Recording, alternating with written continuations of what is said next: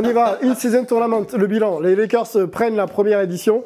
Euh, donc euh, LeBron James soulève un nouveau, un nouveau trophée. Deux questions en une. Euh, le bilan global du in-season tournament pour toi. Est-ce que c'est hype? Est-ce que c'est pas hype? Sur le plan sportif aussi, ça m'intéresse. Et est-ce que euh, voir LeBron soulever un autre trophée, c'est symbolique ou anecdotique? LeBron ou LeBron? On sait Ça pas. dépend, Ça dépend si, des c'est son- si tu parles de son cousin ou pas. Non, mais euh, alors, euh, si je dois suivre mon ami Paul à côté de moi, je vais être enthousiaste et dire que c'est euh, une super compétition. Formidable. Moi, non, je, je reste quand même. Ça apporte un intérêt, comme on l'a dit il y a quelques semaines, quand on nous a présenté cette, cette nouvelle compétition. Mais je pense que toutes les équipes, quand elles, se- elles ont débuté ce tournoi, elles n'avaient toutes pas encore assimilé cette compétition et ses enjeux surtout. Ouais.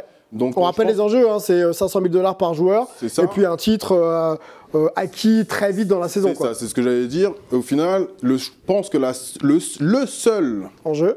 et non, le seul et la seule équipe, grâce à, ce, à monsieur LeBron James, Ouais. c'est, je pense que c'est la seule équipe qui a assimilé tout de suite le fait qu'il y a une compétition à gagner en 7 matchs et 500 000 dollars à se prendre à la fin.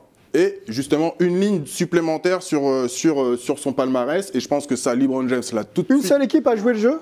Bah, ça, oh, dit- je dis une seule. C'est ce que Il y en a quel- ce que Parce que, parce que Indiana, parce que Indiana a, a quand même montré des Non, couleurs, non mais, Non, mais laissez-moi, euh, juste, j'ai pas eu beaucoup la parole. donc je, vais, je vais, euh, je vais approfondir la question. C'est quand je vous dis qu'il y a certaines équipes qui n'ont pas pris conscience tout de suite de, de- de la rapidité à laquelle on peut inscrire une ligne de plus sur son palmarès et Oui. prendre de l'argent, etc. Oui. Euh, C'est que les Pacers ont fait globalement un début de saison super. Donc eux, ils ont au bout de au bout de 2-3 matchs dans cette compétition, 2-3 vendredi et mardi, ils se sont dit ah on est déjà à 3-0, super.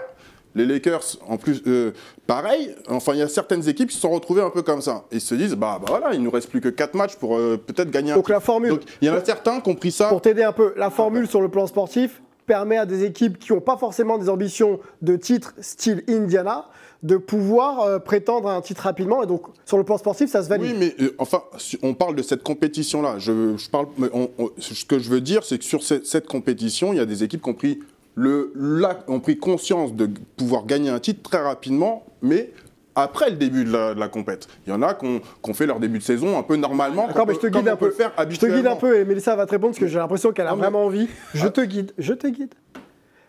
L'angle sportif, est-ce que euh, la compétition, tu parles de 7 matchs pour avoir un titre, est-ce que tu valides le fait que ce soit euh, une formule qui ait marché? Et ben justement, c'est ce qui me, c'est là où le bas blesse, c'est que je pense que c'est trop facile déjà, donc euh, trop facile, trop rapide pour atteindre un, un objectif. Je pense que 7 matchs c'est trop court, surtout en NBA quand on sait que normalement un titre on le gagne en 80, 82 matchs plus 16 matchs minimum de play-off. Donc là 7 matchs, je trouve ça assez ridicule pour, un- pour ce, ce- ce sport-là. Tout se fait en un match sec, donc il n'y a même pas d'aller-retour sur les groupes. Les groupes Dis- sont faits, que- sont assez euh, Est-ce que tu peux me permettre de te couper? Et tu reprends après Parce que je vois des réactions Non. et j'aimerais que donc, euh, tes intervenants puissent rentrer dans le débat, Rudy.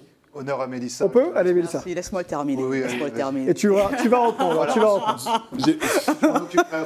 J'ai- pas fini, moi. N'hésite pas aussi, euh, Flo, Non, si tu veux rentrer dedans, il n'y a pas de problème. Il y a beaucoup de choses là-dedans. Premièrement, euh, il y a des choses qu'il faut prendre en compte. C'est que le, le côté financier, euh, c'est un tournoi qui permet à des joueurs qui n'ont pas un gros salaire de pouvoir toucher quelque chose. Donc ça, c'était une très bonne chose de faire ça par rapport à la, la NBA, de mettre ça en place. Oui. Financièrement, c'est très intéressant pour les joueurs qui n'ont pas des gros salaires. Oui. Deuxièmement, ce- celui-là, euh, exceptionnellement, il était mis en place parce qu'il ne faut pas oublier qu'il y a une idée derrière, euh, la NBA a une idée de construire une nouvelle franchise à Las Vegas, dont euh, LeBron James est un investisseur là-dedans. Donc tout ce qui s'est passé aujourd'hui, c'était d'un plan aussi business. Ça veut dire qu'il y a une nouvelle franchise Avec la qui va finale naître. à Las Vegas Avec la finale à Las Vegas, avec la présence de LeBron James, avec le fait de vouloir l'emmener jusqu'en finale et lui donner les titres si on veut NBA derrière. a voulu emmener LeBron Et James en finale Dans tous les cas, ne je dis pas que la NBA.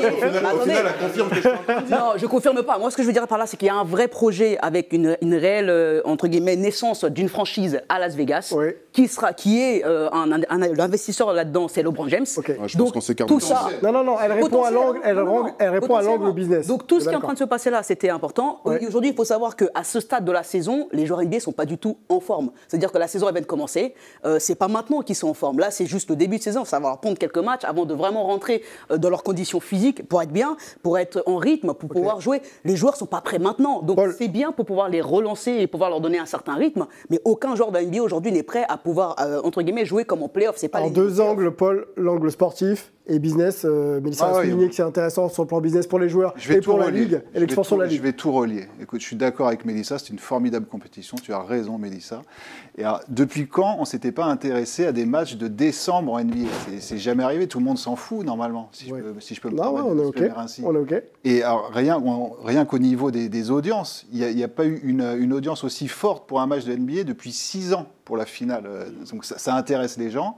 LeBron a voulu emmener tous les petits, leur donner 500 000 à chacun. Il l'a dit dès le début, il était focus et tout. Alors après, on va dire, la finale, c'était peut-être pas l'affiche rêvée. Il y avait les Lakers, qui est l'équipe favorite à Vegas. Il y avait que des fans des Lakers. Ça aurait peut-être été mieux Avec face le- aux Celtics Bien sûr. un duel des deux équipes les, les plus titrées, même si une a remporté tous ses titres dans les années 60 quand il y avait moins de 10 équipes, certes, c'est pas la question. Mais toujours est-il que ce In-Season Tournament est un véritable succès Pour- et Ouais.